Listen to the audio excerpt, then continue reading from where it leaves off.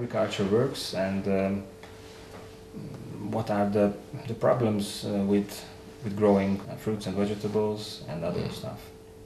Well, growing populations need intensive food production. And along with the corruption that we've seen in the banks and in political circles, much the same sort of thing has happened in agriculture because it is a nexus point uh, for profit generation. And there has been an, an accumulation, it's rather like playing Monopoly. As the game progresses, the wealth ends up in the hands of fewer and fewer, and generally more unscrupulous players. Um, you have, in terms of food production now, behind a very small number of multinational food producers, which is only just in double figures, behind that you've got a smaller number of really key agricultural players who, between them, there's a handful of you know five or six who dominate you know the Western uh, agricultural food production. And they're making so much money that they can buy as many politicians, as many congressmen, senators as they need, and certainly as many regulators as they need. What has happened is regulatory capture. The regulatory systems which were initially set up to protect the consumer are basically owned by the industry now.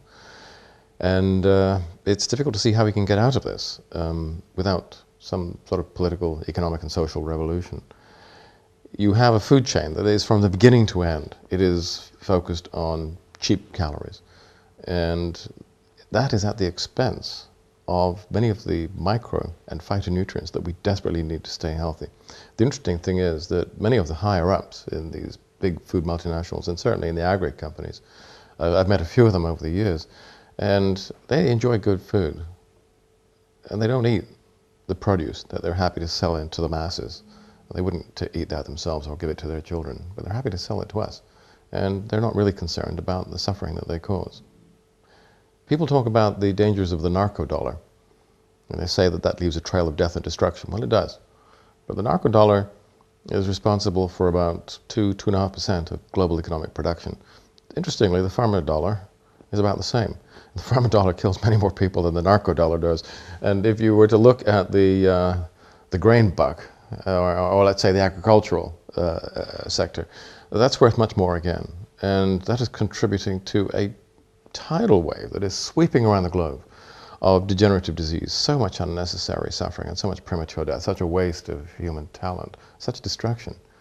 Uh, it's a problem that has become so universal that it is almost invisible. Um, and of course, many of the politicians who are um, our lords and masters uh, are either too stupid to see what's going on, or some of them who do understand it are, more than happy to take, take the money you know, under the table. The healthcare system is not really there to produce health. Um, government is not really there to look after you and me. They're there to look after themselves and to serve the interests of their financial masters, largely, as far as I can see.